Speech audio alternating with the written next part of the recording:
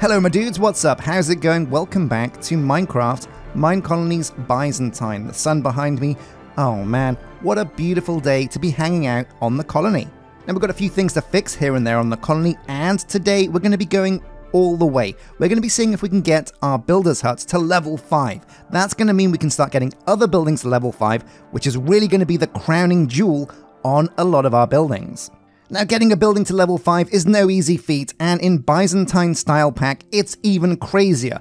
There's lots of very expensive materials required to get these buildings to level 5, so we're going to be doing it case by case and focusing on the most important buildings first. But let's jump in and show you what's going on. Alrighty, here we go. So I've been looking at your tips in the comment section, and once again, a massive thank you for putting these in because they really do save my life a lot of the time. Now, you guys have mentioned that there is a sort button in the warehouse, and I'm thinking, okay, there's a sort button. Oh my god, yes, there is. How did I miss this? Boom, warehouse stock sorted, and like that, no middle clicking around the. Oh my god, lots of cucumber seeds in here, but no middle clicking around these different racks. Now, with a button, you can sort all of the racks Oh man, this has probably streamlined things massively. In fact, let's go upstairs to see how many racks are empty now. Oh my god, yeah, loads of empty racks up here. This is amazing news. Well, actually not that many empty racks, but sorting these things out has really helped us a lot. And this is going to make tracking down different items and objects that we need for certain things so much easier. So boom, there we go. Top tip, you can sort the warehouse. Speaking of warehouses, looks like the warehouse courier hut over there has gotten up to, well, level 1 or 2. Amazing news. So what else is happening around the colony? Let's take a look at the clipboard. Oh, so the builder still needs that blue carpet. That should happen in the background. And likewise, Molly Moo is desperately seeking this purple carpet. But the dyer now knows how to make purple and blue dye. The flower shop has the means to make those flowers, and the miner will be getting lapis. But that reminds me actually, yeah, there's something I want to do over at the mine. Now, basically, our miner is going right down to bedrock, basically, and digging out massive, massive tunnels.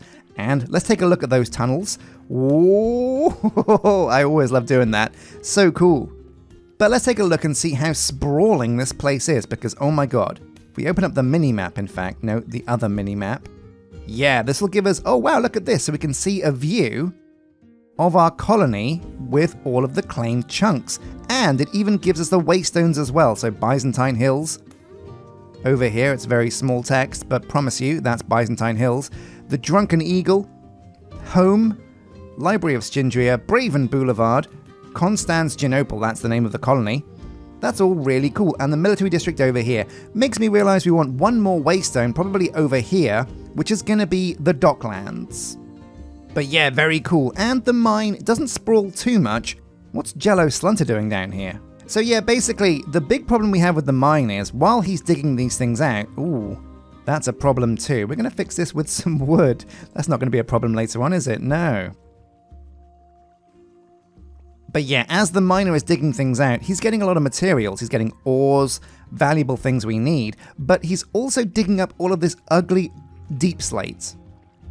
So what we want to do is change the miner's level to a level where he's going to get us more cobblestone, which is something we can use a bit better around the colony. So is this the, uh, the main shaft? Yeah, it is. So let's go and see if we can change his level. So here we go. We're over at the miner's hut now. What's inside the inventory here, actually? Wait, what's this? A resource scroll. Did I put that in there by accident? Well, I've got it back now. Oh my god, whoa, whoa, what have you found, Aurora? You've got. Whoa! Why is she running around with a diamond? Hey, come back here. Come back here, you.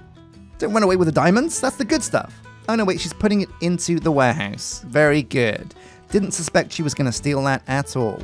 No. Ooh, you got you got to watch out for these five-fingered colonists. I mean, they all have five fingers, but what I mean is these, uh, you know, these stealing stealing colonists. Oh man, I love seeing those buildings go up in the background. So what we're going to try and do is go to settings and see if we can get the max depth to be something a little bit higher. Minus 100 is very deep. So we're going to go to a level where there is cobblestone. Now we're going to have to actually calculate this by going down the shaft and stopping as soon as it becomes deep slate. So here we go. Let's go down, and we can look through the ladder to see when the cobblestone becomes deep slate. Cobble, cobble, cobble, cobble, cobble. I sound like a turkey. Cob. Ooh, no, stone, stone, stone, stone. So we want stone basically because stone, stone, stone. Oh yeah, now this is where it starts to become deep slate. So we want to go one level higher than this. Yeah, this is the level that we want to start digging out at. So what level is this? How can we tell? F3. Oh my god, that's a lot of options. But somewhere around here, it's going to tell us what level we're at. Okay, so we're at level 7. Good to know. So now we can go over to the mine and set his maximum level to dig to to be just above that. So we're going to go, ooh, I think level 10 sounds about right to me. Max depth, wait, minus? minus, minus 1. Oh, weird. So we can't set the max depth to be anything less or anything higher than minus 1. So we're going to stick at minus 1 because there's a reasonable amount of stone at that level anyway. He will use shears, but also we're going to change his fill block. We can finally have a use for all of that deep slate we've compiled in the warehouse. This will take about a year to load. But here we go. We're going to set deep slate, cobbled deep slate to be specific, yeah, here we go. Cobble Deep Slate is now going to be the fill block. So all of those blocks that he's dug up, he's now going to fill in with Cobble Deep Slate. And that's good. It means we don't have to rely on the miner finding cobblestone to keep going. That's going to really help him out. And also, we've got days and days and days worth of Cobble Deep Slate in the warehouse. Amazing. That's a huge fix. Make sure you do that in your mines at home. Okay, amazing stuff. And we're going to keep the ball rolling on the tips that you guys have been dropping in the comment section. I can't remember the names of all of these tips because there were so many, but they went into my brain. At least the tips did, but your names didn't. Now, one way we can fix the farmer, basically, you don't have to actually pause this guy at all. What you can do is manually turn off some of the fields. So you see here, it's got the fields that this guy is working as wheat, olive, melon, and garlic. So if we change it from automatic to manual, we can turn off the melon field. Oh, lightning, lightning. Now I do love the colony when the rain is happening, because the fog just looks so atmospheric. Oh man, yeah, take a look at this. This looks beautiful. Beautiful rain. But I am going to sleep through this if I can, because a thunderstorm is dangerous. We don't want any dudes to get struck by lightning. And fantastic stuff. Another sunny day on the colony. What are you doing on the roof? Oh my god, these these wandering traders are a real menace honestly. So yeah, do remember that in here you can go to the fields and you can turn off and turn on manually the fields that you want worked. But we're going to do the same for the other farmer as well because while we've got way too many melons, we're actually going to kind of run out of things like uh, potatoes and carrots and wheat because they are used in raising farm animals. So over here to the fields, manual, and we'll make sure that wheat is on, okay? But for now, we will turn off the lettuce, because we've got loads and loads of Caesar salad. So with those configured, we can unpause the worker, he'll get back to work, and we'll do the same for the farmer over on the other side of things. Oh baby, progress and fixing problems. Nothing feels better than a colony that works like a well-oiled machine. And Sklurbeetha can rejoice because she can finally get back to doing what she does best. That's right, it's farming. So what else is on our list of things to do? Well, let's see if we can find the Garden of Hoobi's Waystone. There she blows. Yeah, that's right. You work those fields, Sklurbeetha. You work them. And we're going to go up and take a look at the Enchanter's Tower. Oh, wait, hang on a sec. Who's this? Ivana Mahogany? I Ivana get you in the colony more like. We need baked potatoes. Do I have any on me? Not enough. We'll give her a couple for now and go and collect some more. But who else is in here that we want to get into the crew? So Aqua Lich. Yes, please. What do your costs? Eight diamonds. Do I have that many diamonds on me? No, I've got six. But I reckon there's going to be some in the computer. Have a couple of taters on me. Roy! How's it going, Roy? Roy Bits, man, that's a really, really cool name. I love that a lot. What do you want? Cakes. Well, I can make cakes now. We've got lots of eggs, lots of flour, all of the things we need, so that shouldn't be a problem. I'm going to go and grab these bits and see if we can get these guys in. Also, who's this? It's Toby Vink. How's it going, Tobes? Oh, and books. Very cheap. So I'll go and grab these bits. have myself an eternal steak, and grab them in. Alright, colonists, where are you? Father Christmas has come a little bit late. Wait, Gaddicus Stony, you're another guy. What do you want? Honeycomb. Now, I think I actually have some honeycomb. Yeah. So we can get a big old session of getting dudes in. There's 13 honeycomb. Where's the next dude? Is that Roy? We need Roy. Where's Roy? I have to know that Roy is safe. Uh, it's Mixed Piznut. okay. Do I have... Yeah, I've got a stack of lapis on me. Amazing. Oh man, we're getting all the dudes in. This is amazing. Now, as always, if you do become a Patreon member or a YouTube member, you can find the names post on either the community page on YouTube or the Patreon post on Patreon, and add your name to the list of dudes that can arrive in the colony, just like Roy Bits. There's some cake, my friend. Don't run off with it. And Ivana Mahogany, more like Ivana get you in the colony. There's the potatoes, and we're good. Was that everybody? Is that all of the boxes ticked? Was there somebody upstairs up here? Yeah, of course. Aqua Lich. The diamonds. Boom. Okay, a nice little haul there. Lots and lots of fresh dudes. Now, what they're going to do is, if they don't get a job, if they can't become a knight, or a druid, or an archer, they will go to school. And, well, not school, the library, which is like school for adults. Your research has made a breakthrough. They now understand fear. Yeah, you, you, you're damn right they do. I'll crack the whip on these mother truckers if they step out of line. So let's pop along to the Enchanter's Tower now, over here in the church. Again, what a fantastic build. Spamanti has outdone himself, and I cannot wait to see this go up in the levels. But, what's that noise? What are you doing? God, who knew enchanting was such a loud affair? Anyway, here is our resident deity, Dark Hoobies, doing. What are you? What are you doing? What are you even doing? In fact, that's a good point. What does an enchanter's tower do? Well, they've got some custom recipes, so the enchanter can turn ancient tomes into enchanted books. No way! That's amazing! So when we get these ancient tomes from the raids, which we actually do, we can turn them into enchanted books. She also knows how to make ultra safe colony teleport scrolls from a few bits and bobs. Man, that's the weirdest song. Now, she also has gather targets.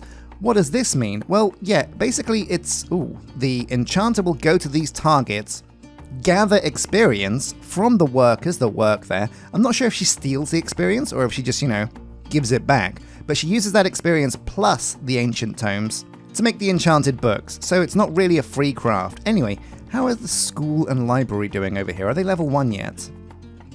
No, the school is still level 0 and the library over here still needs to be built. Well, Ambriel didn't have a job, so we're going to cancel the build and get Ambriel working on this instead. And there's a couple of things we'll need to teach our dudes how to make, but again, because these are buildings inside a building, they're very cheap builds. And we'll also get Ambriel over here because it looks like Mollymoo is, yeah, a bit overworked. Now, nighttime is fright time, no raid tonight by the looks, which is pretty lucky, but we'll wait until it ticks over and the colonists get to bed so they get a good night's sleep. It's not the quickest though, because our colonists have to walk pretty far to get to where they live, which is not great but not terrible, which is also why I think we need to spend an episode investing in infrastructure, get some more rails around the colony so our guys can zip around and get home much quicker. Which is going to mean more aqueducts, but an aqueduct without water and with rails is in fact actually a viaduct. So there we go, that's the builders hard at work. Now what were we going to do this episode? That's right, the main thing we wanted to do was get at least one builder's hut up to level 5, and we're going to focus on the boys because the boys builders huts are already level 4. There we go. Right, so what are the material requirements for upgrading these buildings to level 5? Here we go. Now this is where things could get crazy, and we might have to actually go to the end but it looks like we actually don't. That's crazy. So, usually, as a loose kind of frame of reference, some buildings require bits from the end or the nether to get upgraded. Now, Byzantine is a little bit different, it kind of breaks those rules. In fact, the only tricky thing here is a block of gold, but that's not tricky, it's just expensive, and we do actually have those numbers. So we can definitely get the builders to build their own huts. Leo, this is your hut, and you're going to build this. And we're also going to get Jensen to build his own hut too. So we're going to leave those to brew in the background. Now, Leo and Jensen do still have other jobs that they're going to be working on, so we'll leave them to those, and fingers crossed we can come back and see if the Builder's Hut is level 5. That's going to be really cool. Now, I want you guys in the comment section right now. Oh, amazing, the library's done. I want you guys in the comment section right now to let me know which building do you think should be the first building we get to level 5. So the big contenders are the farm for more fields. However, we're not at a shortage of food, so maybe not. Also, you can't see it right now, but behind the insulae, the university. That could be level 5 as well, and that would be huge. We could get some level 5 researchers and there's some crazy level 5 researchers. There's also the Dyer's Hut. We need loads more recipes over there, so getting that thing to level 5 would be really helpful. And also guard towers. Getting a guard tower to level 5 means that these guys can use enchanted armor, and that's going to make them a force to be reckoned with. But the list goes on and on. The hospital, a school, a library, one of the houses, the insulae put, for example, that could be level 5 as well. Let me know what you think we should be getting to level 5 first, and I will like and heart the comment. Well, okay, so the school and the library being built means that we can actually, I think, probably do some more research. So over to the Library of Shindria, and let's see what's open research. So nothing is in progress at the moment, but these new schools and libraries, oh man, amazing means we can actually invest in the backpack research we want to do last time. Yeah, here we go, deep pockets. Now, extra slots in the inventory is going to be huge for our dudes. Really, really, really huge. We can also learn Diligent. I'm just going to go through as many of these things as I can, especially since I've got the books on me. Diligent, that's going to be good. So that's two of four. What else? In combat, maybe, perhaps? Something here we can do to make our dudes a bit more, you know, beefy. Ooh, check it out. Panoramics. Druids request magic potions to unlock new abilities. And that's a really good point. We don't actually have an alchemist's hut. But I want to look into the alchemist's hut. How do we make it? Do we need to do a research for it? Where does it live? Does it have its own Byzantine building? That could be big as well, because it might not, you know? Here it is, the Alchemist's Tower, and it does look like it requires a research. So, a brewing stand, wood, and a build tool, that's not tough to make. But the research to actually unlock the Alchemist's Tower, that could be. Well, let's go back in here and see what it is. you okay? Haltermane? Need a, a lozenge? So the Alchemist's Tower, where could this be? Now, I, I feel like it should be in combat, because it's basically only for combat potions. Aha, look at this. So I have found it. It's more scrolls, which unlocks Open the Nether, which gets us the Nether Mine. Then we can get magic potions, which unlocks the Alchemist. Ooh, and check this out. There's also Ocean's Heart. That means fishers can find treasure. Very cool. But we're also going to do another research. We're going to do a civilian research called Lifesaver. Two more HP on all of our dudes. is going to be big. So hay bales, paper, lapis, and an ancient tome. So we return to the university with all the bits we need to do this research. Now it was in civilian for Lifesaver, that's the hay bales, that's the third research, and the final research, which is also in civilian. Where is it? Scroll down. No, it wasn't civilian. Was it technology? Here we go, more scrolls. Oh, wait, no. Oh, so we're locked again. We need the Enchanter's Tower to be level 3. So much to do this episode, but it's okay. This is all progress, and progress is great. Isn't that right, Phileas Wolf Dragon? What can I do for you? Sunflowers. Do I have sunflowers? Yeah, I do, obviously. Let's get you in. Yeah. Welcome to the crew, and he already became a druid. Wow, quite the glow up, my friend. Loving that chrome dome. What's that up there? Who are you? Zelda the Tasty. Okay, well. How tasty are you? Tasty enough to be in the colony, that's for sure. Boom, amazing. Oh man, we are getting dudes in thick and fast. So we're going to head up and make sure that the Enchanter's Tower is being upgraded. But this is going to be a big episode because we need the Builder's Huts to be level 5. We're looking for the Enchanter's Tower. If we can get that to level 3 before next episode, we can do a bit of research. That's going to be big too. Because, yeah, the Nethermine and the Alchemist's Hut are the two gateways to very high end elite colonies indeed. Yes, here we go, man. We've got so many build projects to take care of, but the Enchanter's Tower, build options, oof. Now gaze upon this. Not exactly a cheap build, a framed block of raw gold, and another Enchanter's Tower. We already have one of those here though, very weird. Well, we'll upgrade this, build another one of those, and we should be okay. And again, while they are expensive materials, there aren't that many required, so it shouldn't take too long to go up. So do you know what, I reckon maybe it is time. Let's time-lapse the build of these builders huts going up from levels 4 to 5. We've taken care of a lot of things around the colony this episode. We've done a lot of TLC, got loads of new dudes in, got some really essential research on the go. Wait, what are these bees doing? It's like a, a big bee and a little bee? No idea what they're doing over there at the university. Maybe Dark Hoobies knows. But yeah, let's watch these builders huts go from level 4 to 5, because that's going to be really huge. Getting a first level 5 building is going to be massive. So the builders huts to level 5, our first level 5 buildings on the colony, a very big moment. I had to pull Jensen away from his previous projects, which means we'll have to get somebody else to do the warehouse and the dyer's hut up to level 2, but you know what? The builder's hut is way more important. And again, upgrading these buildings is really quick, because guess what?